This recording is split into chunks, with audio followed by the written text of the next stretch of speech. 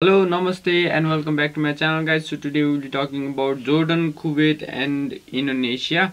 So without wasting any time, let's get started. So मैले चाहिँ भर्खरै कमेन्ट पाएँ इन्डोनेसिया भनेको जोर्डन र कुवेत जस्तो टिमलाई हराइरहने टिम हो सो नेपालले इन्डोनेसियालाई पनि हराउन गाह्रो छ भन्ने सो मैले चाहिँ थोरै रिसर्च गरेर भिडियो बनाउँदैछु. Without wasting any time let's get started so कुरा गरौँ टिम इन्डोनेसियाको बारेमा। इन्डोनेसियाको हालको फिफा ऱ्याङ्किङ एक सय उनासाठीौँ स्थानमा छ। एक स्थान माथि उक्लिएको छ। एकतिस मार्च ट्वेन्टी ट्वेन्टी टूमा जुन फिफा ऱ्याङ्किङ अपडेट भएको थियो त्यो अनुसार हाइएस्ट नाइन्टिन नाइन्टी सेभेनमा सेभेन्टी सिक्स पोजिसनमा छ इन्डोनेसिया भने lowest one hundred and ninety one जुन जुलाई ट्वेन्टी सिक्समा थियो।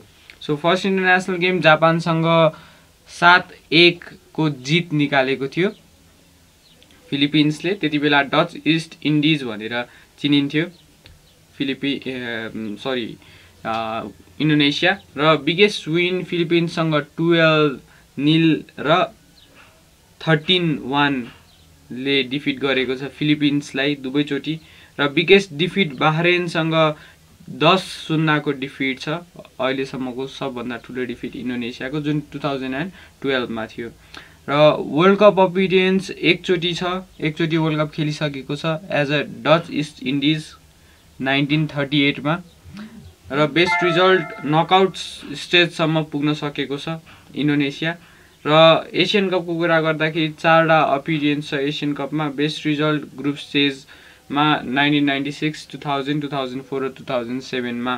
एसि एफसी एसियन कप खेलिसकेको छ सो हिस्ट्री राम्रो छ वर्ल्ड कप हिस्ट्री हेर्ने भने कुवेतभन्दा पनि माथि पुगेको छ तर अलि अगाडि नाइन्टिन थर्टी एटमा र कुवेतको कुरा गर्दाखेरि कुवेतको हालको फिफा ऱ्याङ्किङ एक सय छयालिसौँ स्थानमा छ तिन स्थान तल ओर्लिएको थियो एकतिस मार्च दुई हजार बाइसमा पब्लिस भएको फिफा ऱ्याङ्किङ अनुसार highest FIFA ranking twenty four December nineteen ninety एटमा lowest December twenty सेभेन्टिनमा फर्स्ट इन्टरनेसनल गेम लिबियासँग खेलेको थियो दुई दुईको बराबरी बिगेस्ट विन भुटानसँग ट्वेन्टी निल र बिगेस्ट डिफिट युनाइटेड अरब रिपब्लिकसँग एट जिरो र पोर्चुगलसँग एट जिरो छ। टु थाउजन्ड थ्रीमा पोर्चुगलसँग र नाइन्टिन सिक्सटी वानमा युनाइटेड अरब रिपब्लिकसँग सो वर्ल्ड कप एकचोटि खेलिसकेको छ।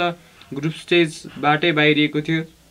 उन्नाइस सय बयासीको वर्ल्ड कपमा एएफसी एसियन कपमा दसचोटि सहभागिता जनाएको छ भने उन्नाइस सय अस्सीको एएफसी एसियन कपको विजेता पनि हो टिम कुवेत।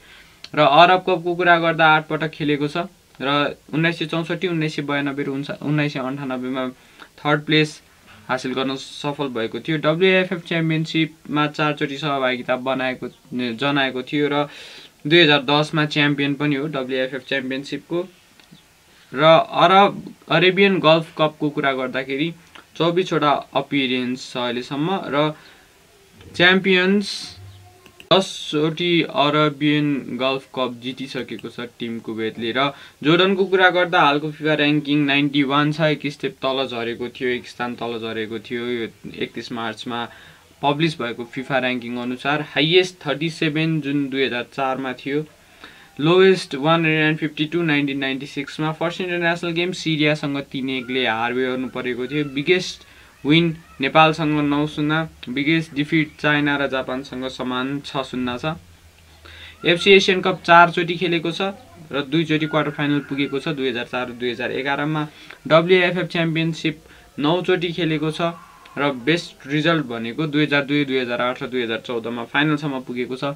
फिफा अरब कपमा नौचोटि सहभागिता जनाएको छ भने दुई हजार दुईमा तेस्रो स्थान हासिल गर्न सफल भएको थियो र पान अरब गेम्समा दसचोटि सहभागिता जनाएको छ र उन्नाइस सय सन्तानब्बे र उन्नाइस सय उनासय भनेको नाइ नाइन्टिन नाइन्टी नाइनमा विनर या च्याम्पियन हुन सफल भएको थियो। र हेड टु हेड रिजल्टको कुरा गर्ने हो भने इन्डोनेसियाले कुवेतसँग र जोर्डनसँग टोटलमा जोर्डनसँग पाँच खेल खेलेको छ अहिलेसम्म र एक खेलमा पनि जित निकाल्न सकेको छैन र कुरा गरौँ टिम कुवेतको बारेमा भने कुवेतसँग छ गेम खेलेको छ जसमा एक गेममा जित निकालेको छ तिन गेम ड्रमा रोक्न सफल भएको छ भने दुई गेममा हार बेहोर्न पुगेको छ। सो यसकारण सम्भवतः नेपालको लागि अलिकति डिफिकल्ट हुनसक्छ हराउनलाई तर हामीसँग अरू अप्सन रहने छैन। एफसी एसियन कप खेल्ने हो त्यो स्पिरिट बोकेर जाने हो भने इन्डोनेसियालाई हराउनुको अप्सन हामीसँग छैन। हाम्रो ग्रुपमा सबैभन्दा कमजोर नेपाल र नेपाल पछिको अर्को टिम भनेको इन्डोनेसिया नै हो। सो इन्डोनेसियालाई हराउने र अरू दुईवटा टिमलाई ड्र या हारमा समेटेर एसियन कप खेल्ने भन्दा अरू विकल्प हामीसँग छैन जस्तो मलाई लाग्छ। सो हजुरहरूलाई के लाग्छ?